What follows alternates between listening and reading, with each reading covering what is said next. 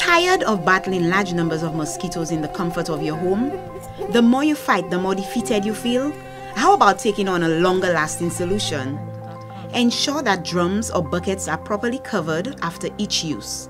Drain and dispose of any unwanted containers to reduce potential breeding grounds for mosquitoes.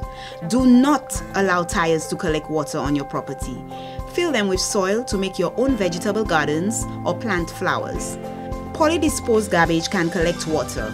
Use secure bins when disposing of garbage in order to reduce mosquito breeding. Keep vegetation low to allow daylight in and remove hiding places for mosquitoes and other pests.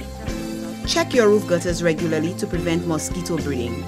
Regularly inspect your property for signs of mosquitoes.